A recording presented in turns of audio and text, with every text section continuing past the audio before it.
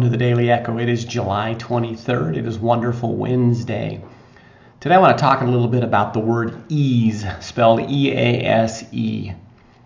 And I was listening to Dave Blanchard talk the other day about how in life we really strive for ease. You know, many times we have goals and aspirations and dreams that we think will put us in a place where we no longer have to deal with the rigors of life and the difficulties of life. And if you get a chance this week, go Google past lottery winners. And I think most of you already know the stories of these people.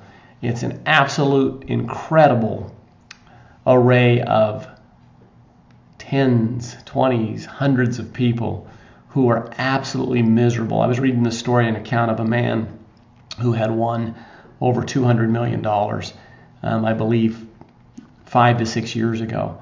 And uh, just the, the absolute miserable life this man is having from estranged spouses to daughters who don't even want to see him, who has no family relationships whatsoever, who's involved in, in habits that are very destructive at this time. All in the name of ease, all in the name of being able to um, not have to deal with things in life. I think we think that as long if we have this or we have that, we have this house, we have these cars, we have this money, we don't have to worry about getting up and going to work, that everything in life will be taken care of. Life was not meant for ease.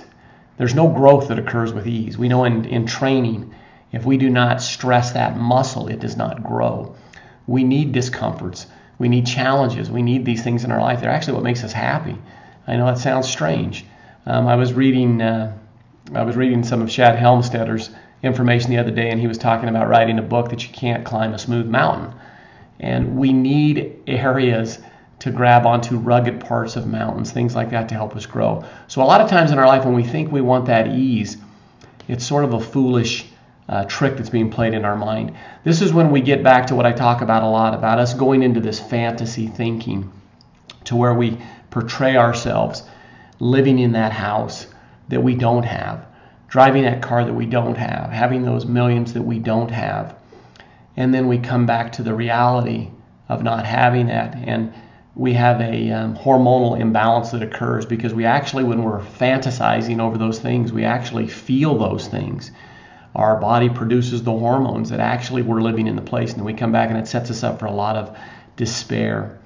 So I, I, always say it's important to have those goals, but understand why we have those goals and understand that it's the journey that is the fun part. That's the process. Most of you out there that have set and attained really fabulous goals in your life realize when you get there, you're like, okay, now what? The journey was the fun part of it. And then you got to set a new goal. So when we're looking for this thing called ease in our life, it's sort of a trap door. There's really no such thing as ease. And when we think that there is ease, we tend to stop pushing and developing and moving forward. So be grateful for your challenges. Be grateful for the obstacles in life because that's what makes life fun. That's that that's what allows us to understand the good things and the bad things. You, you never know good if you don't know what bad is, and so we need that opposition. Have a wonderful Wednesday. We'll be talking to you again tomorrow on Tremendous Thursday. Thanks as always for tuning in.